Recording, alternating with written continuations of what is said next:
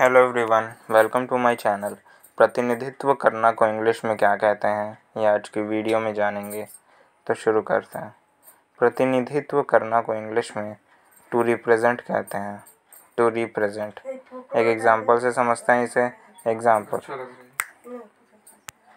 he wants to represent our college in the inter college fest यहाँ to represent का मतलब प्रतिनिधित्व करना। उदाहरण। वह इंटर कॉलेज फेस्ट में हमारे कॉलेज का प्रतिनिधित्व करना चाहता है। इसी के साथ आज के वीडियो में इतना ही। Thank you so much for watching.